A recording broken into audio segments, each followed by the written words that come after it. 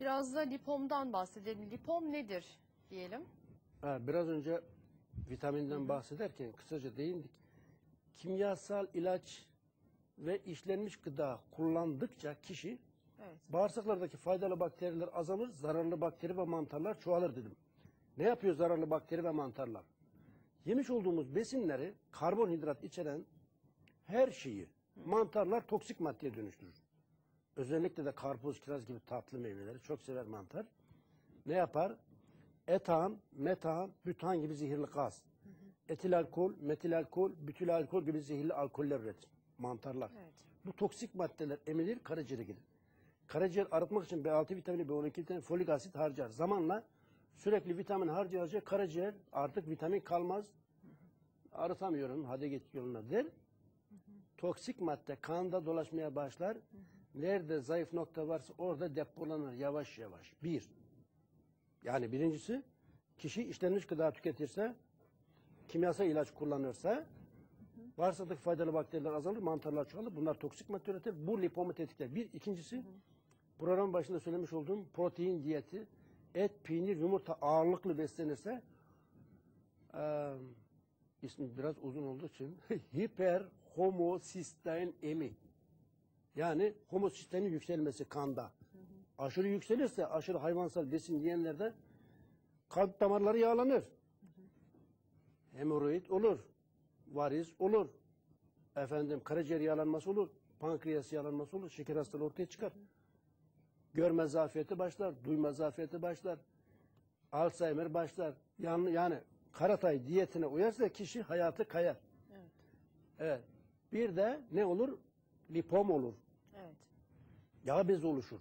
Miyom oluşur bazı bayanlarda. Kist oluşur. Nodul oluşur. O oluştu diyelim. Ne yapmak gerekir? Bugün de bir beyefendi geldi. Vücudunda 40-50 tane her tarafında iri ufaklı, fındık büyüklüğünde, ceviz büyüklüğünde, hatta böyle yumurta büyüklüğünde yağ bezeleri. Doktora ameliyat edeceğiz demiş. Çok tehlikeli olabilir. Ne tehlikeli olacak? Tehlikeli olmaz. Kötü gözüküyor. Damarları sıkıştırıyor biraz ağrı yapar belki. Bazıları da ameliyat olduğu zaman bir tane ise 40-50 tane birden türeyebiliyor, yayılıyor, çoğalıyor. Dişisi erkeğe de var bunun. Ee, öyle iki cins. Bir beyefendi bize gelmişti. Kurmay albay. Omuzunda yumurta büyüklüğünde, kolunda ceviz büyüklüğünde iki tane yağ bezi. Plaja gittiği zaman çocuklar alay ediyorlarmış. Utanıyormuş adamcağız. Ya sen beni bu utançtan kurtar. Utanacak bir şey yok aslında. Ne olacak olsun. Ama tabii görüntü rahatsızlık veriyor. Aa, problem değil dedim. Biz ona iksiri verdik kullan bakayım. Günde 4-5 defa iki çorba kaşığı. Biraz sonra bana aradı dedi ki ya hiçbir etkisi yok. Dedim 5-6 ay bekleyeceksin yavaş yavaş. Aheste aheste. Yok dedi ben hemen iyileşmek istiyorum. Plajlar açılır açılmaz hemen koşacağım.